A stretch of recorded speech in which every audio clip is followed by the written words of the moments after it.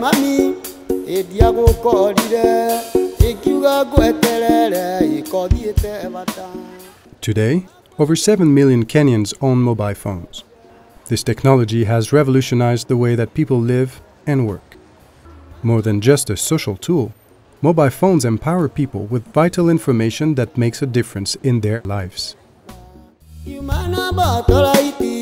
Kiumana botolaiti ngiuga rĩkorwo ĩnĩũgũire kĩoro ĩna nĩ kĩa irima The coffee industry in Kenya provides an interesting example of how information and communication technologies, or ICT, is transforming the marketplace for agricultural products. generally Kenya coffee farmers do not seem to to understand why it is that prices either move up or go down. In the Kenyan situation, the coffee belongs to the farmer until such a time when he is paid. He may tell us, right now, don't mill my coffee because the market is not right. Tomorrow he discover the market is right. At the point when we are milling the coffee and taking to the market, already the good price is gone. I, as a farmer, will require quite a lot of information to enable me to focus on exactly what to produce, how much to produce, and basically also to control the grades. If at all I had a mechanism where I would be in a position to know in advance that uh, maybe in the, in, the, in the next one month or in the next two weeks the prices are going to go slightly high then i may be in a position now to get uh, my milling instructions to my miller properly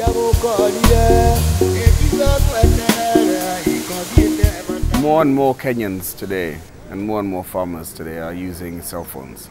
That alone is a tool that we can use to inform the farmers in terms of prices. A cell phone, I mean, is a right medium. You can be able to put it in your pocket, work in the farm, move around with it. So if let's say you need to make a decision or to find out or to counter check, let's say about the market, you, you you just need to press the button and you get the information.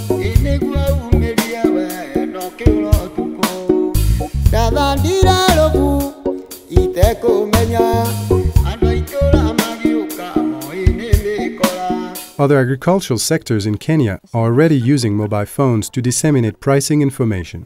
Every morning we SMS Sokoni to 411. We are given a response by the 412, knowing on this, the prices in the market. So it is through the, the SMS that we we rate our produce every morning.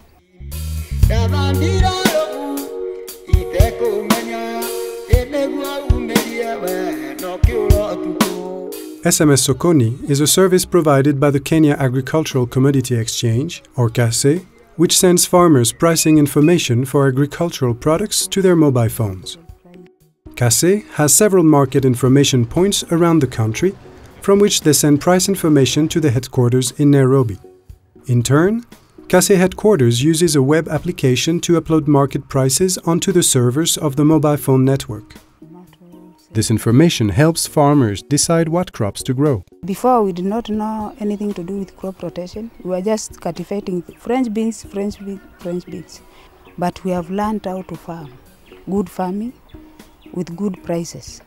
Equipped with the right information, the farmers are able to determine the most profitable market center to transport products to and circumvent middlemen. Before we met the Kenya Agriculture Commodity Exchange, we had a few brokers and the prices were uh, a throwaway price. We improved about 70%.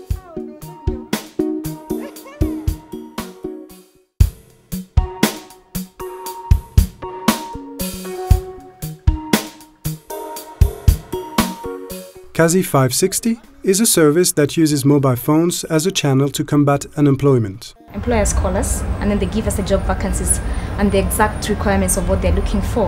We customize the information they give us into an SMS of 140 characters. We have a channel that we use that is called My Info Update that we use to channel the jobs to the job seekers.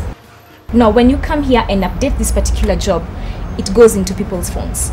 Job seekers simply send a text message to 560 to subscribe to any of the 85 categories of jobs, ranging from drivers, receptionists, waiters, and marketing experts.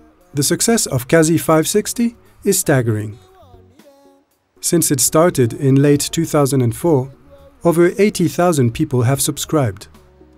More significantly, nearly 4,000 people a year find a job through this SMS service. These are just some examples of how mobile phones are empowering people with information and revolutionizing Africa.